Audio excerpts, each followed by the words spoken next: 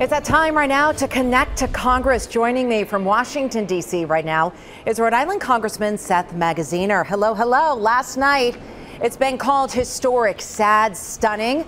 You voted, Representative Magaziner, to oust the Speaker. So the lead question I have for you right now is now what? Who are you supporting next? Well, this is a, uh, a very solemn and difficult time uh, for our country. This is the first time that the speakership has been vacant uh, in our nation's history.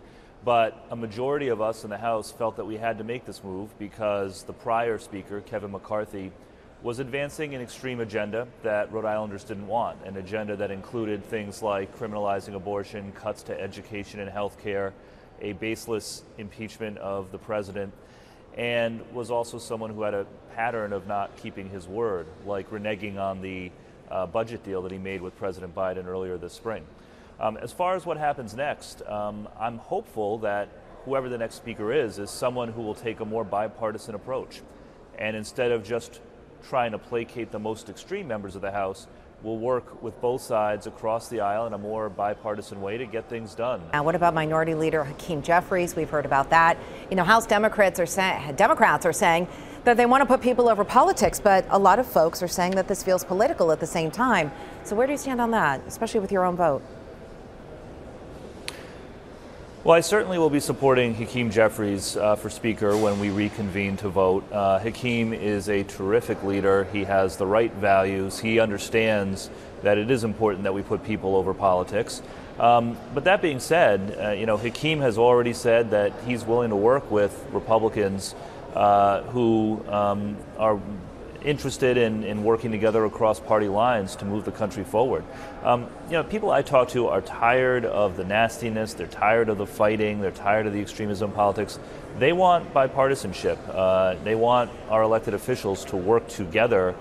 And yeah, we disagree when we have to, but we should work together whenever we can. And uh, I'll be voting for Hakeem Jeffries, but I hope that whoever our next speaker is is someone who will take that more bipartisan approach. Well, on that note, the now former speaker said he did do his job by making compromises in a bipartisan way, according to him, to at least fund the government. You're going to say that's his job. He had to do it. But what about the argument now that it's kind of the devil you know or knew? Are you at all concerned about another delay in getting work done at this yeah. point?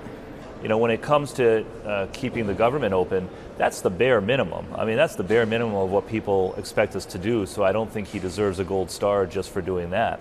But again, that's behind us now. Uh, it's a time to look forward and to look ahead to what's next. And I hope that whoever our next speaker is, uh, whether it's Hakeem Jeffries, who I'm supporting, or someone else, uh, is somebody who can help us cool down the temperature on the partisanship and uh, foster a spirit of bipartisan uh, uh, cooperation so that we can get to work on the issues that people really care about, like lowering costs and improving health care and improving education.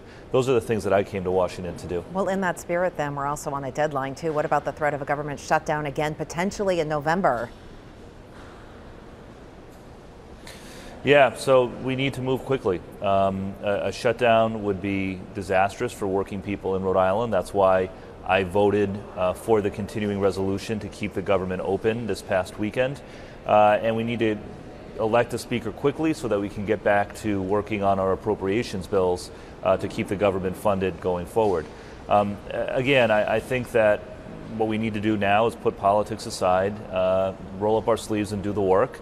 As soon as we elect a new speaker, uh, we need to pass a budget. Congressman Magaziner, thanks for your time. Thank you, Alison.